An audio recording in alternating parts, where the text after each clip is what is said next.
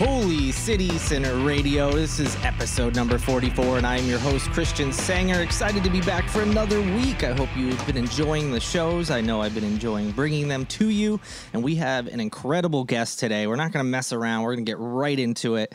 Uh, today's guest is Mark Olshaker. He is an Emmy award winning documentary filmmaker, journalist, and author of 12 nonfiction books and five novels. His books with famed criminal profiler John Douglas, beginning with Mindhunter and most recently The Killer's Shadow, have sold millions of copies and have been translated into many languages. Today, we'll mostly be discussing his book When a Killer Calls, which recounts the horrific story of Shari Smith uh, who was kidnapped from the driveway of her family's Lexington County home back in 1985. Her abductor then made repeated phone calls to her family, taunting her mother and sister. Uh, unfortunately, Smith was found dead days later, and the crime spree continued shortly thereafter. Uh, the book details the crime itself and the work of police and the FBI to find her murderer and bring him to justice. It is an incredible book. Uh, I did read it. Um, it is, you know, obviously devastating to hear what this family went through. Uh, reading about the the killer and you know what he did to them is it's just so sad, but uh, it makes for a good read. You know, uh, you're rooting for the police and the FBI to find this guy, um, and it's uh, you know, it's a true crime story. You can easily look up, you know, the end result and everything that happened, but uh, we won't have too many spoilers or anything like that for those who are interested in reading the book. Uh, we're going to discuss the case and some other things involving um, his career and uh, working with John Douglas, um, who, uh, as I mentioned before, they both have. You know, they've partnered on many, many books, including Mindhunter, which was turned into a series on Netflix. Uh, you may have seen it. Uh, one of the characters is actually based on John Douglas. Uh, so we'll be talking to Mark about his work with John, uh, and then you know from working with an FBI uh, former FBI agent and what that whole process is like. It should be a really fascinating story, and definitely go pick up the book. It's it's thrilling to read. Um, you you know you forget sometimes it's nonfiction because it you know it does sometimes sound like you're reading um, a fiction you know novel, and it's like a you know who done it, trying to find the person. Uh, really interesting and, and highly recommend it. And a quick note: be sure to stick around at the end of the interview because we are going to play a clip uh, from a call that the killer made to a local news reporter. So so uh, be sure to stick around after the interview to hear that. So without any further ado, let's get into it. Here it is now my interview with Mark Olshaker.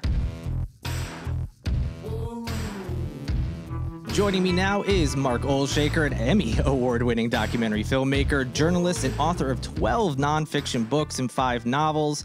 He has written many books with famed criminal profiler John Douglas, beginning with Mindhunter and most recently The Killer's Shadow. They have sold millions of copies, incredible career that I can't wait to discuss, but we'll also be talking about When a Killer Calls, um, which I mentioned earlier involves a crime here in South Carolina. Mark, thank you so much for joining me today. I really appreciate it. Thanks for having me, Christian. So, I guess the best part to start at is, you know, what led you to a career as a journalist and author and filmmaker? Was this something you always wanted to do or you were drawn to? Well, I guess going back to junior high and high school, I was always interested in the creative arts, and I thought about acting originally, but I didn't think I had any particular talent. and uh, writing seemed to be, the, I had no musical ability whatsoever.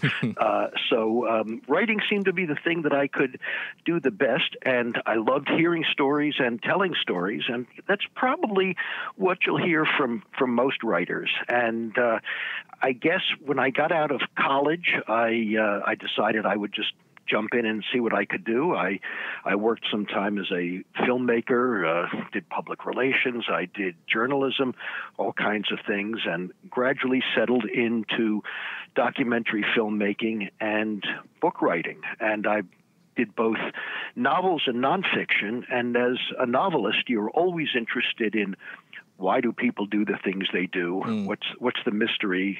What's what is it about the human condition that's so interesting and how does it fit into stories?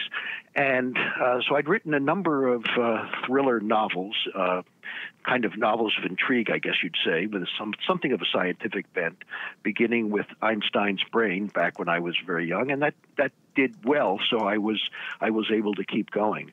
And I had uh, been working with Nova, the PBS Science series, uh, on a number of programs, and then like everybody else, uh, or almost everybody else, I read the novel of Silence of the Lambs, mm. and I said to the producer, uh, Nova, Paula Apsell, up at WGBH in Boston, I said, uh, Paula, I've read this book. I understand it's going to become a film. If the film is anywhere near as good as the book, of course, I had no idea how well it would do. I said, I think it's going to be a big hit. And why don't we do a story? Why don't we do a film for Nova about the real people behind the uh, uh, this FBI profiling unit in Quantico, Virginia? And uh, serial killers weren't yet a thing, and this was before 9 11, so security wasn't as tight. And so I called the FBI Academy, and they kind of welcomed me in, and uh, we started following this. Uh, uh, profiling unit, which, which was then called the Investigative Support Unit, around, and I got to uh, know the uh, head of the unit, John Douglas, who was kind of legendary within the criminal justice uh, business and law enforcement business uh, because of his uh, his pioneering uh, profiling, and we did a film called uh, "The Mind of a Serial Killer," which did very well on PBS. And then I would say, I don't know, some months after we finished, John called me and said you know, I'm getting ready to retire. Do you think anybody would be interested in my career for a book?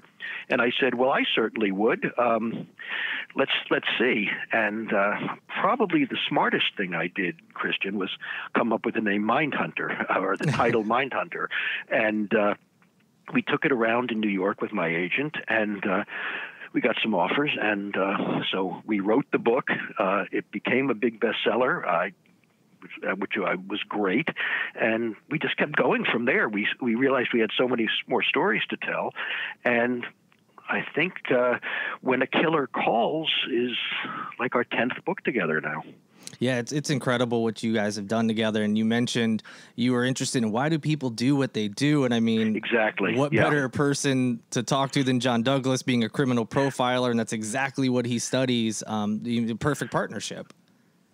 Yeah, and I think you know what we realized is. Um, you know, and this gets into the whole issue of, of why do people why are people so fascinated in true crime now? And mm. and obviously I get asked that question a lot, and I've thought about it a lot, and I think the reason is because true crime really is about the human condition that I mentioned, but the human condition writ large at the extremes. Uh, we all we all have these human emotions of love, hate, revenge, jealousy, resentment, uh, what uh, what have you.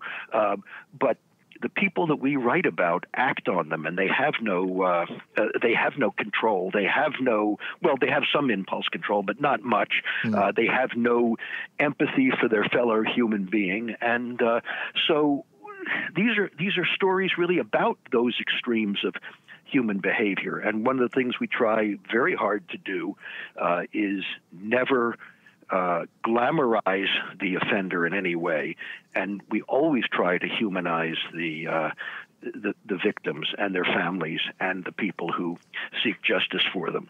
And you know, I think the reason you asked me on is because uh, our latest uh, book, When a Killer Calls, involves a case right there in Lexington, South Carolina, and uh, it it really is.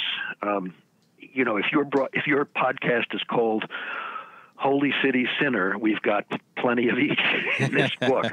Uh, we've we've got an absolutely horrific uh, s- serial killer, somebody who would have gone on to kill many more people had he not been caught, and we have probably one of the most uh, moving stories of faith and courage from uh, from a victim and a victim's family that either John Douglas or I have ever encountered in the person of Shari Faye Smith, who.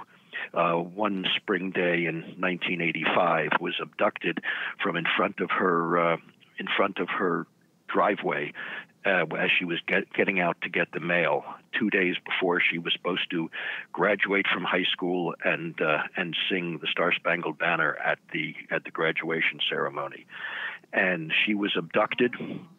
Um, she was, uh, and two days later, her family got a, uh, a letter in the mail uh, entitled "Last Will and Testament" that Shari wrote knowing that she was about to be murdered.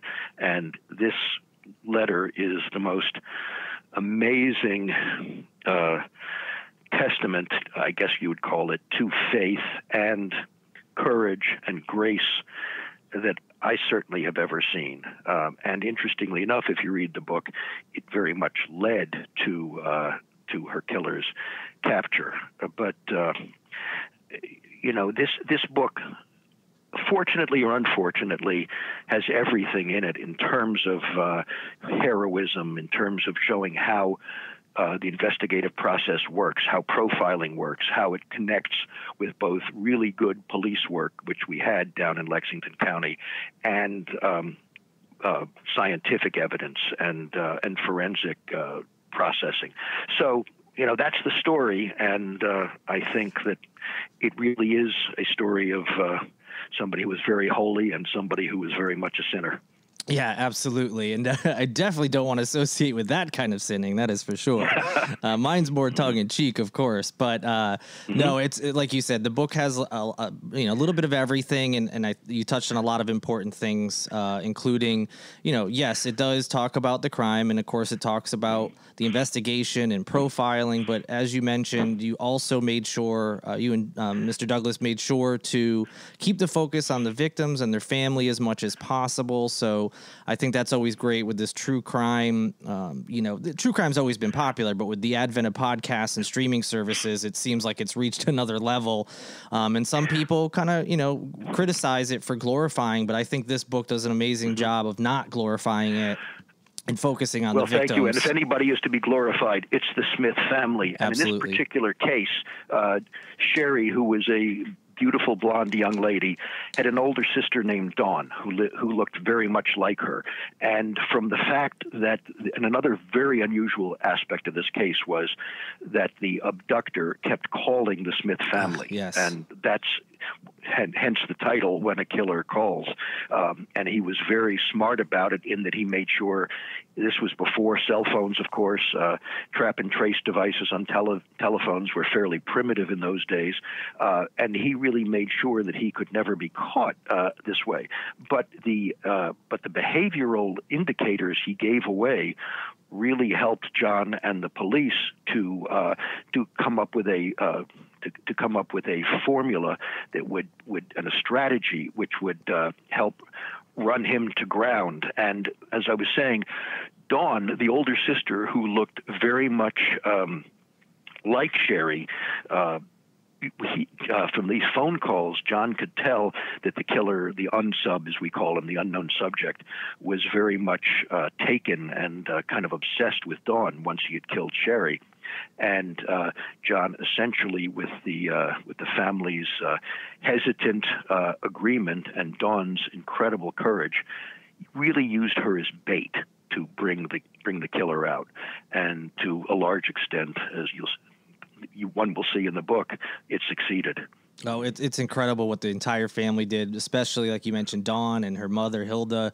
It's incredible the bravery and, and what they had to go through. Um, it, it's it's crazy. People should definitely read it. And you know, you mentioned the the killer calling the family, and I was actually sent a clip of a call he made to the local news reporter um, and what struck me was how like calm and, and quote unquote normal he sounded. You know, I almost mm-hmm. expected this like straight from the movies, over the top, sinister, you know, growl or something. And it was basically the opposite, which was almost creepier that way. Um, Oh, it absolutely is. I, I completely agree with you, Christian. And uh, this is somebody who is in control, who is clearly enjoying what he's doing. Mm. I mean, he is uh, he is almost p- possessing Shari and the family by uh, by the way he talks to them and the way he leads them on, and even the way he describes uh, how he how he killed Shari, and at the same time looking for I guess looking for sympathy, looking for empathy, which is just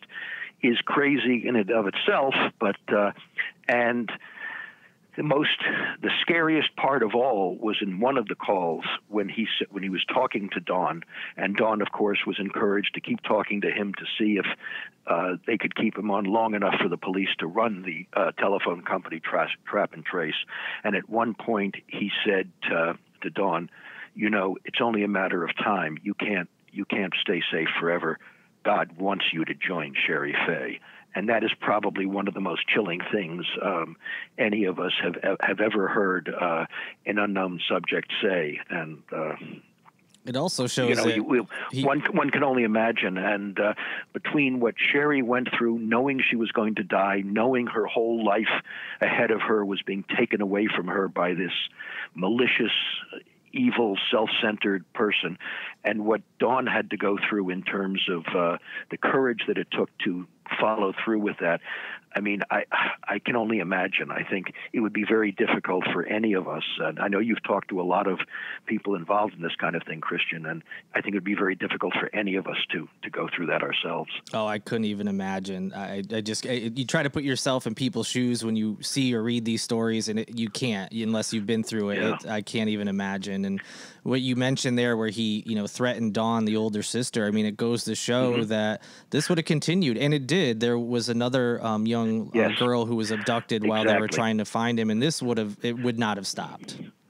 No, um, several several days after the abduction and after they received this letter, the unsub called back and gave Dawn instructions to find uh, Shari Shari's body, which they did, and had been and he had withheld the information long enough and kept the body outdoors, you know, in the woods during the really hot uh, Midland summer to. Uh, so that the, the, body was was very difficult to get forensic clues off of. And then two weeks to the day, again a Friday afternoon, two weeks to the day after he abducted Shari Faye, he abducted uh, nine-year-old uh, Deborah May Helmick, not too far away from the trailer park in which uh, she and her family lived.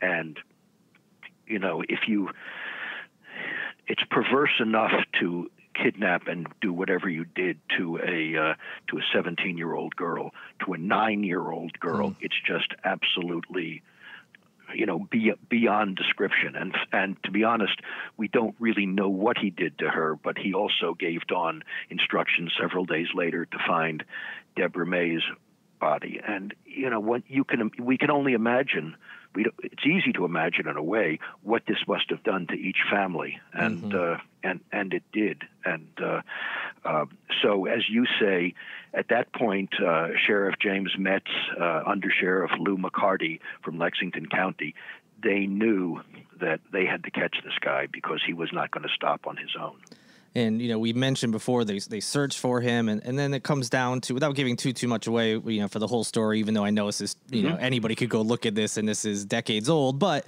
um, you know then the question becomes you know if if he's caught and brought to trial there's going to be talks about his mental capacity and and how and mm-hmm. you guys discussed how the FBI profiling might differ, especially at that time, from the terms and things that a psychiatrist might say. You know, saying this person's out of their mind with this, that, and the other doesn't mean that they aren't in control of their impulses or couldn't have stopped. So there's also interesting um, discussion of that later in the book about the differences between the two fields and, and trying to relay that these things seem so horrific to all of us that we think this person must be mentally ill. It, to some capacity, they, they likely are but is it to the point where they should be found not guilty by like insanity? And I think that was really interesting as well. Well, Christian, you're, you're doing all my work for me because you've, you've outlined you've outlined it perfectly. Uh, the question became at trial, and again, without giving too much away, uh, because we I do hope it's an exciting, interesting story for people to read with a very strong what happens next uh, component to it. But when the um, when the unknown subject, whose name was Larry Gene Bell, uh, and many of your listeners, I'm sure, know that name from uh, from hearing the news stories or from their parents or grandparents, even. Uh, once he was put on trial, the issue became somebody who did something this vicious, this bizarre, and his actions at the trial were so bizarre Right. and so so narcissistic and all that. Can somebody like that be uh, be in his right mind? And the big struggle was to say, yes, he probably he, he certainly has some mental illness, and I would I would submit that anybody who kills another human being in cold blood, much less a 17 year old girl or a nine year old girl, uh, totally innocent. Uh, who he didn't even know, yes, that person must have some kind of serious mental illness. But that's not really the issue in law.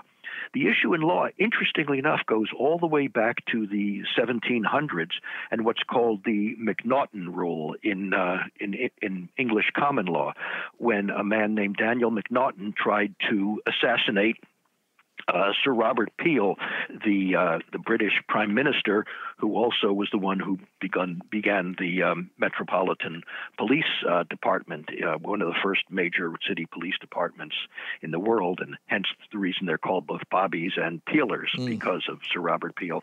But in any event, he tried to kill Sir Robert Peel. Daniel McNaughton did, and he ended up uh, he did not succeed, but he did kill uh, Peel's private secretary. And the question was whether he was in his right mind or not. And the test that was used, interestingly enough, was a, a sort of a two or three pronged text test, which is did he know the difference between right and wrong? Was he able to conform his behavior to the uh, dictates of society? And in the case of McNaughton, they said he wasn't, uh, and they confined him to uh, an insane asylum. But what's interesting is with there's been all kinds of interpretations since then, but over these last 200, 250 years, the McNaughton rule still basically applies. Is this person able to conform his uh, behavior to the dictates of society, and does he know the difference between right and wrong? And I would submit to you, Christian, that in most of the uh, serial killers and uh, and violent predators that we've studied over the years, all almost all of them know the difference between right and wrong. They just don't care. It's not as important to them as fulfilling their own narcissistic, savage uh, desires. And the other person, the victim, is merely a prop to them. It's not a human being. They completely depersonalize this person. And we have, and I think you, you probably recognize it from the book. There's an old. Uh, a convention in law enforcement known as the policeman at the elbow, and that mm. states that if uh, if there if there was a uniformed police officer close by observing the uh, offender, would he still have committed the crime? And if the answer is yes, he probably is pretty far gone mentally. yeah, absolutely. If no, then uh, he probably can conform his behavior to uh, the dictates of society, whether he wants to or not. Uh, and uh, and that's what we have in the case of Larry Gene Bell. Absolutely. You know, whether it's this case or some, uh, I mean, um, almost all these works that you've done with John Douglas and, and, some of the documentaries, you've had to hear and see some pretty horrific things in studying these crimes. How do you compartmentalize that, not let it affect you too much, or, or, or does it? Well, it's very interesting. I mean, certainly it, it does. You can't you can't help it. Um, my wife doesn't like me to talk about it in the evenings or at the dinner table, as, you might uh, imagine, and, and neither neither does John's. Um, but uh, one of the things you, ta- you, you try to focus on the story, and almost like a doctor examining a uh, a disease or trying to figure it out. The mystery is what becomes compelling, and then when you get to the character level, the victims are so important to us that that's sort of what we focus on, and you know, it, it's the job of the uh, of the detective or the police officer or the uh, or the uh, prosecutor to get justice for the victims. And our contribution is to tell their story in a way that's uh, that makes sense, that shows them for what they really are, shows the other people for what they they are, and gives us some indication about uh, about human behavior. And as I say, this this case certainly does. Plus, it's a fascinating uh, treatise on how the various aspects of law enforcement, whether it be behavioral profiling, really dogged police uh, and detective work, uh, forensic analysis, uh, uh, all of that uh, comes together. And without giving too much away, I'll just say that both John's profile and the uh, and the physical document of the last will and testament came together to solve this case in a, in a very fascinating way, I think. Uh, and you know, you mentioned trying to focus on the victims, and it's not just in your, Yes. your books and, and your documentaries. You also are involved in victims' rights organizations, correct? Absolutely, uh, we we have we've done a lot of work in that regard, and uh, I've spoken at a lot of uh, victim rights conferences, and we've advocated over the years very strongly in favor of victim impact statements, which are what the victim, uh, once there's a conviction, it's what the victim's family is uh, is allowed to give and speak before uh, the judge and the jury before sentencing. And some people say that this is not really fair, that it uh, creates an uneven playing field, that uh, some victims might have a more sympathetic story, and some uh, and some perpetrators may have a less sympathetic story, and therefore uh, sentencing can be unequal. And we object to that. And what we say is, once a once a violent crime is committed, the victim and the victim's family is put into a relationship that the offender creates. The offender creates a relationship. The victim doesn't want to be in it, but that's it doesn't matter anymore because he or she, often she, is.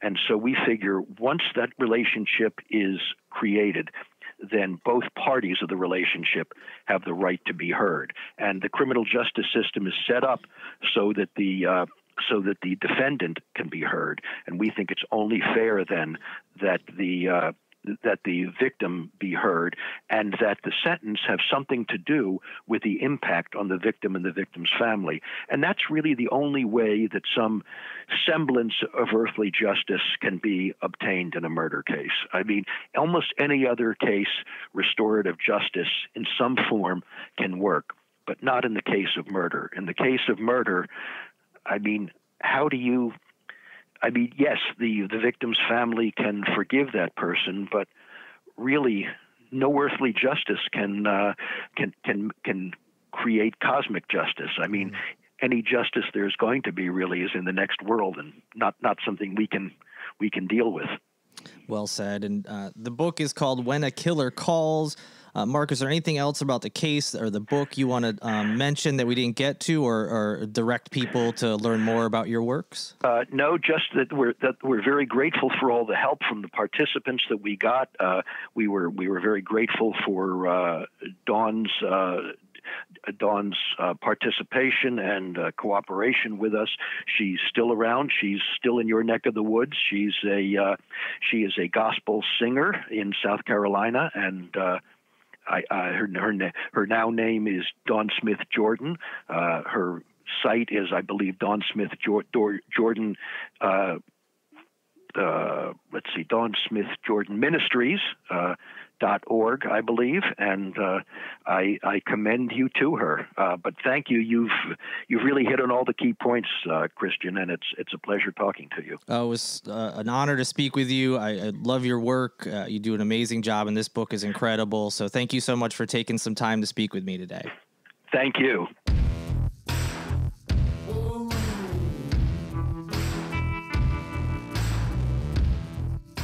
All right. Thank you so much to Mark Olshaker. An awesome interview. And as promised, we're going to play that clip now of the uh, killer calling a local news reporter. Uh, it's a little difficult to tell who is who at first, but a couple seconds in, you'll be able to tell who is speaking. Um, and, and just so you can get an idea of the things that Mark and I were discussing in terms of his voice, um, the way he's trying to control the conversation, um, and, and just you know how creepy it is. Uh, I mean, it, it is no matter what, but just like I said in the interview, I was expecting this over the top thing, and well, you'll see. He just sounds like a regular a guy who could live next door just calling. But at the same time, because you know the background, you're going to pick up on some things. Uh, you'll notice in the clip he also mentions turning himself in. He did not turn himself in at any point.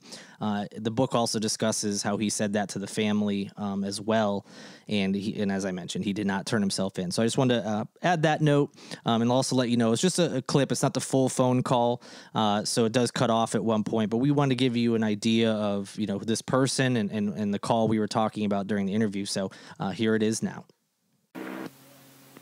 being traced or tapped? If it is, I'll hang up. No, I don't have the ability okay. to do that. All right, this is concerning Shari Faye Smith. Uh-huh. And I'm going to use you as a medium. Can you handle it? Uh-huh. Okay, now listen carefully. Uh-huh. Um, I can't live with myself, Charlie, and I need to turn myself in, and I'm afraid. Uh-huh. And you're a very intelligent person, and I want you to be there with Sheriff Metts and all officers he wants, and uh, at his home in the morning at 6 a.m. and you answer the phone. At whose home? At Sheriff Metts's home. Uh, Hurry now. Don't answer any questions unless I ask yes or no.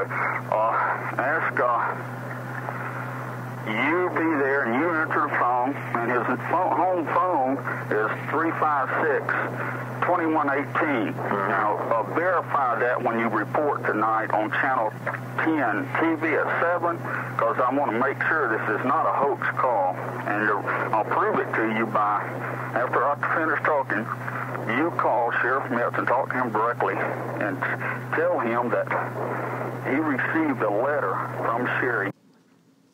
And that is it. My interview with Mark Olshaker. I want to thank him so much for coming on. What um, a treat it was to speak with him about his career um, and this uh, book in particular. Again, it's called When a Killer Calls you can pick it up i mean at this point anywhere that you can find books. If you can find it locally you know from a local bookshop you know like itinerant literate over in uh, park circle buxton books downtown or um, blue bicycle books any of those types of places you know obviously we recommend that. But if not it's available everywhere else. Um, really thrilling stuff and uh, i'm sure after hearing that interview you all are very interested to read it as well that's it for this week. Thank you so much for listening. Uh, we'll be back a little later this week with a bonus episode, so uh, be sure to subscribe if you haven't. Um, you can also like and rate the podcast, which I'd really, really appreciate, um, and spread the word. You can also go to patreon.com slash holy city sinner to support the work we do here on the podcast, as well as the website and everything else involving Holy City Sinner. You can also pick up merchandise, holycitysinner.com slash shop to pick up hats, stickers, you name it. It's on there, and uh, it you know uh, just any way you can help out is always appreciated, even if it's just likes and retweets and all that good stuff on social media. Uh, thank you to Lindsay Marie Collins of LMC Sound System and FMB Radio, an awesome local podcast. She produces each and every episode, and thanks to Tyler Boone for providing the music for every episode as well. And thank you to all of you for listening. Um, appreciate you checking in every week and, and can't wait to bring more fun interviews to you as we move forward. So for now, good night and good luck.